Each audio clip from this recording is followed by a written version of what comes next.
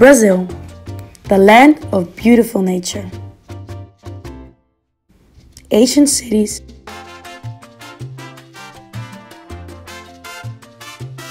Pereka, soccer,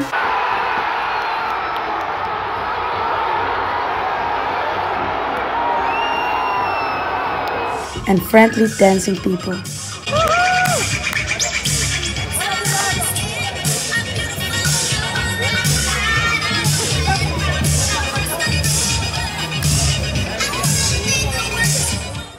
But unfortunately, Brazil also has its challenges. The presumably eradicated and forgotten disease measles is making its return. What is measles? Why did it return? And what has been done to stop it?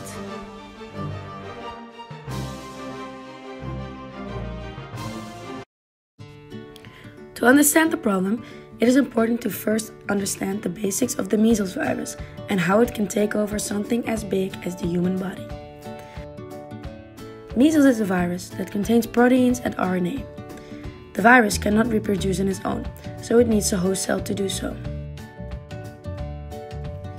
The measles virus can enter the body through the eyes, nose, or mouth, and once it enters the body, the infection starts in the lungs.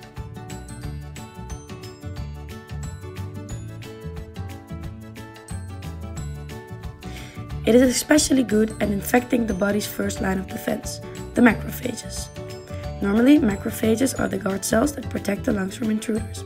However, the virus takes over the cells and transforms them into a dangerous virus production center. Once the cell is filled with viruses, they can leave the cell and the cycle begins over and over again. However, the immune system has powerful weapons against a virus infection natural killer cells. They check other cells for infection, and if these cells are infected, order them to commit suicide. For the first 10 days, this is so effective that you won't even notice that you are infected, and thus feel completely fine. But what makes the measles virus so powerful then? Well, after a period of fighting the virus, the macrophages alert the dendritic cells, the so called brain of your immune system. They collect samples of the intruders, travel to the lymph nodes, and then activate other cells of the immune system to eradicate the infection very fast. But the measles virus uses a dreadful but smart tactic. It infects the dendritic cells and uses them as a Trojan horse to enter deeper into the body. The virus is therefore able to infect virgin killer T and B cells and thus attack the system that was set up to fight it. Once the virus enters the lymph system, it is able to enter the bloodstream and spread all across the body. It infects organs like the spleen, the liver, the intestines, and other organs, like the lungs.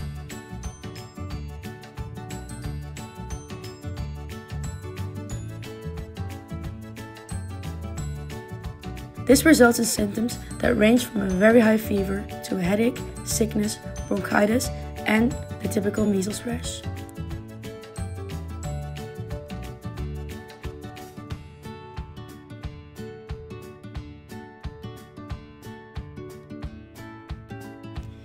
In the lungs, the immune system was doing pretty okay, but now a million of viruses attack the lungs a second time and kill countless cells. As a result, the defense system is completely wiped out. At this stage, the infected person starts coughing millions of measles viruses. The virus is so contagious that if this infected person meets someone that is not vaccinated, there is a 90% chance this person will get infected too making it one of the most contagious viruses in the world.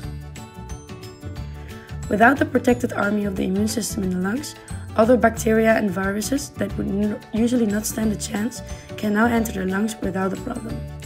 This results in the development of parallel infections that can cause pneumonia, the most common way to die from measles. In some cases, the virus reaches the brain and causes a brain infection. If it does so, the chances of dying are 20 to 40%, and there may be long term damage. However, there is hope. Our body does not give up and fights back. Some dendritic cells are still alive and activate parts of the immune system to fight the virus. Plasma cells in the lymph nodes start producing antibodies that mark the virus for destruction or clamp them together.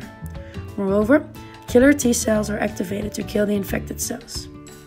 After two to three weeks, the body usually gets the upper hand and overcomes the infection. However, the immune system is severely weakened, leaving the body vulnerable to other diseases. But once the virus is overcome, the body is immune to the virus forever. Although most people worldwide are vaccinated, there are still more than 140,000 deaths caused by measles in the year 2018, meaning the virus is still not completely eradicated. There is a safe, cheap, and effective vaccine available against the measles virus. In Brazil, this vaccine is provided by the SUS, short for Sistema Único de Saúde. This system provides free healthcare for every individual in Brazil, including the measles vaccination. Luckily, most children do receive this vaccine. They are vaccinated on 12 months, with 12 months, and then again with 15 months. Um, you get this vaccine uh, together with other two vaccines. So you get uh, measles, rubella, uh, Yeah. and um, caxumba. Before we continue, let us introduce you to Fabiana Lima Pessoa de Mendonça, or in short, Fabiana. We met Fabiana on the Pediatrics Infectology Department at Hospital João Paulo II.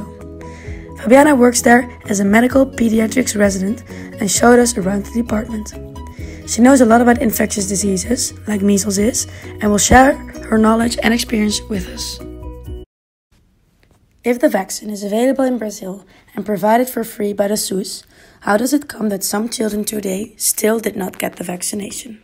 what we are finding out now is that the main people um, that are getting um, affected by the measles Mhm. are people usually that didn't receive the vaccine. Uh, so people, for example, that are not allowed to receive the vaccine. So, Okay. For example, people immunosuppressed Yeah. people and um, ages with ages of risk, for example, babies, little babies, or something, and uh, transplanted people um, who takes people who take medications and um, people who really can't receive the vaccine, so they are not vaccination, they are not protected, and um, when they get contacted with the measles, um, they get they, they, get they get sick. Uh, usually, the population gets vaccinated, and you get like this whole of protection uh, during a couple of times because the people get like scared and so everybody gets vaccinated, which is uh, what's happening right now at our at, at Brazil. So everybody is getting vaccinated. But w- with the time, people start to get a little lazy with the vaccination. So uh, they start to not get so worried about it. We we usually see those kinds of outbreaks from Yeah. time to time. Uh, it had already been an outbreak on another time of the past in here. So from time to time there are outbreaks like that. In- In Brazil we see this all the time. Many people that still insist not to vaccinate. And it can be just religion, or either uh, they also said like things like oh because it's made on eggs and I'm vegan or something. I've heard everything. Children that did not receive the vaccine are prone to get infected by the measles virus. This can be seen in Brazil right now, with an increase in the number of measles cases across the country. How many cases of suspected and confirmed measles have been reported in the hospital this year? There were like many cases of suspected measles because here we receive almost uh, all the suspected cases from the cities. Uh, they send us the patient to um, to do the exams too, and then um, we uh, we put this patient in the isolated nursery. We just do the exams, which is the the swab. We had here like confirmed Yeah. cases. Um, I think there were like three or four cases here, and but they were all all all of them were like um, uh, very susceptible patients to get measles. With the measles outbreak in Brazil right now, there have been taken extra measurements inside the hospital and on a public level to prevent a further spread of the virus.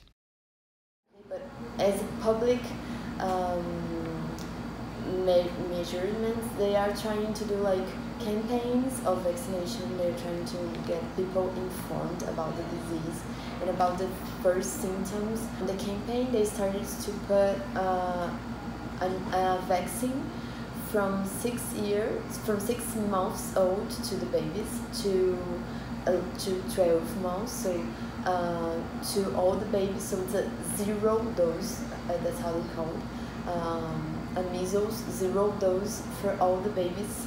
After six months old, it the baby start uh, gradually to lose these antibodies. So uh, we, it's not uh, clear from like uh, well when is when will he lose when will this baby lose he, this antibody so from six months to the one month usually after after the uh, 12 months the baby is, is not no longer with any antibodies of his mother but from six months uh, to the 12 month uh, he can still have some and can still have not. It depends on each baby.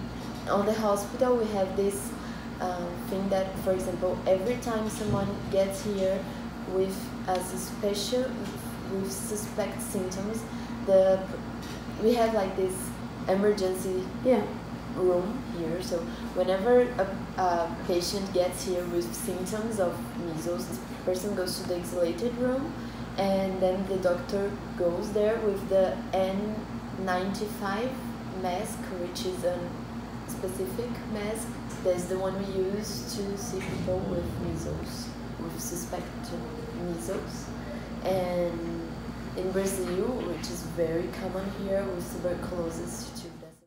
Next to public campaigns, the zero dose vaccination, and increased attention in the hospital, also other initiatives are implemented. For example, home visits, done by community health agents together with an auxiliary nurse in order to check the vaccination status of children. We are taking you to Monte Santo de Minas, a little village 432 kilometers southwest of Belo Horizonte, in the south of the state Minas Gerais. Let's first introduce you to the home visit team. Boa tarde a todos. Boa tarde. É, gostaria de fazer algumas perguntinhas para vocês. É, o que vocês fizeram hoje? Qual foi o serviço de vocês? O que vocês fizeram hoje na unidade? Essa é a Tamires, ela é auxiliar de enfermagem. Esse aqui é o Bruno, ele é o agente comunitário de saúde. Essa aqui é a Josiane e ela também é agente comunitária de saúde. Deixa eu ver Vamos lá. O que vocês fizeram hoje?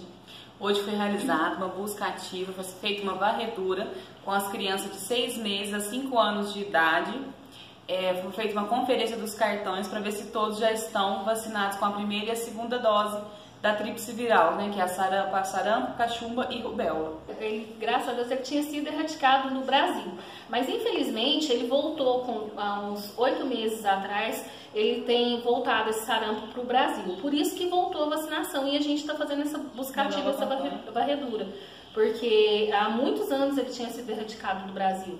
E agora, com a imigração, com outras pessoas vindo para o Brasil, essas que antes não tinham. E sarampo é uma delas. Sarampo, cachumba, a rubéola também, porque em outros países não tinha vacinação, no Brasil tem. De quanto em quanto tempo vocês fazem esse trabalho? De olhar cartões, qual que é a frequência desse trabalho? É, a gente é, tem lá Geralmente visita semanal que a gente vai né, nas casas, visita, mensal, que a gente está sempre olhando os cartões, acompanhamento com gestante, hipertenso e diabético, e nas campanhas que a gente sempre está indo né, com o técnico de enfermagem fazer as visitas. With these extra measurements, Brazil plans to eradicate the virus now and in the future. Luckily, there is hope. As the measurements are implemented effectively, and a decrease in the number of reported measles cases can be seen. To end, Brazil is and will stay one of the most beautiful countries in the world. It welcomes every tourist and foreigner that takes time to discover the charming land and the warmth and openness of the people that live there.